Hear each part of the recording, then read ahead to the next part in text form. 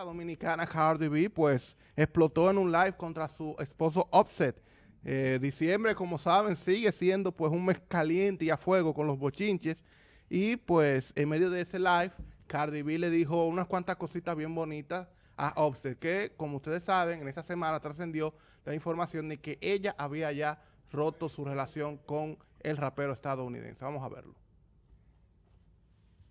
Bueno, eh, está por ahí. Pero esa es la situación, eh, unas palabras eh, nada bonitas por parte de, de Cardi B.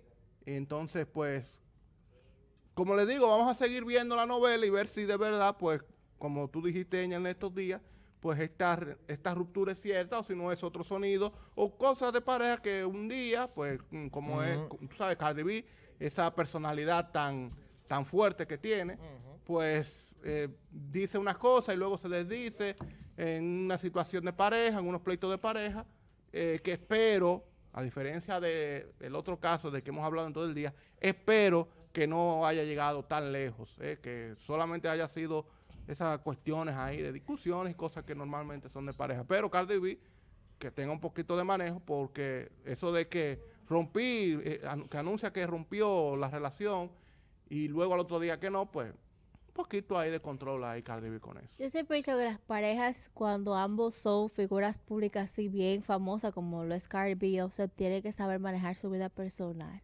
Si no se están entendiendo, si este está siendo infiel o tú le estás siendo infiel o hay un problema con un tercero de por medio y tú ya no quieres estar en ese relajo, traten de evitar cámaras, fotos y tú quieres una cornuda consciente trate de evitar que eso salga a las redes sociales porque la saliva le va a caer en la cara.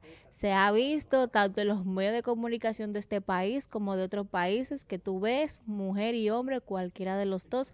No, porque yo no quiero volver a saber de ella. Y se dicen de todas las redes sociales. Mira el caso de Jay y Romaría, que se dijeron de todo, que decían que Romaría posteriormente ya era del otro bando. Y mira cómo andan en discoteca. O sea, dicen de todo lo y le cae la saliva en la cara. Cardi B ha creado totalmente un imperio enorme. Luego de cómo inició su vida, ¿verdad? Como ya todos sabemos cómo inició y todo eso, ya tiene una familia. Así que cosas así, no dejarlas salir a la luz pública a ese nivel. Si tú por pique estás molesta con eso, por lo que sea, coge tu pique callar, dale a la almohada o vete a beber o no sé pero trata de no publicarlo porque puede ser de que le pase lo mismo que a las demás parejas. De que tenga su momento de alta y baja. Un día, mi amor, como vino Crazy, le trajo un perrito a Sandra de Europa. Mi amor, mira, toma esto y ya y se perdonen y estén como si nada. Y suban fotos de diciembre, family feliz. Y no ven la canota de payaso así. y eso es lo que se le exhorta siempre, manejo. No es tan difícil. manejo. Lo dije yo, lo dije yo y me acabaron una vez no hay que nadie ni sabe ni que cuál es el esposa y cuáles son los hijos. Y, y quién sabe qué cosas pasan en su casa y nosotros ni nos enteramos. Entonces no hay necesidad de eso, ¿entiendes? Eso es lo que le afecta y esa gente como que no se le entra por ahí.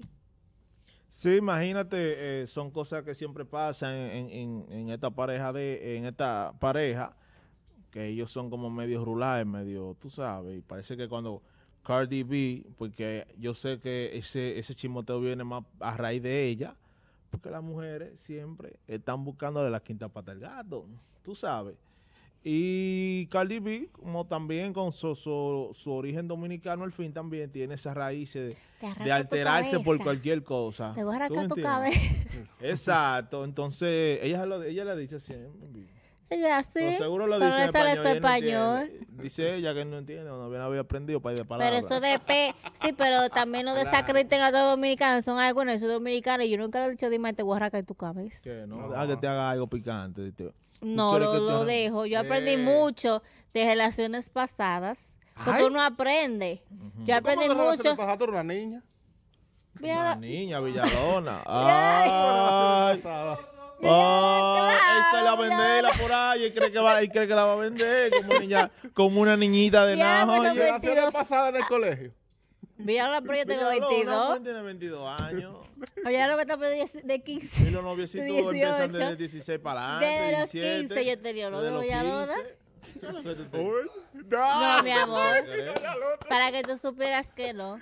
Yo duré ocho años sin mi papá. Mi papá del otro lado del mundo sabía todo de mí. en mi casa yo no, a mí no me gustaba eso. A mí no me gustaba eso de que dijeran de que mira, ahí está la hija tuya con tal gente con A mí no me gusta eso.